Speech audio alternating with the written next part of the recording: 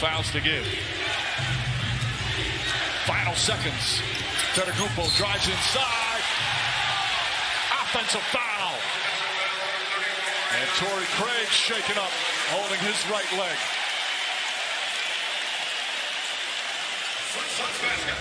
This is outstanding defense, though. Retrieves and then takes the hit.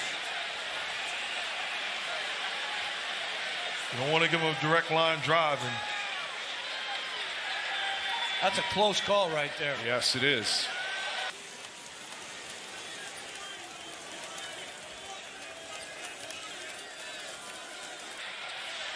See Giannis Antetokounmpo going up to check on him. Just that young man class all the way. 1.9 remaining.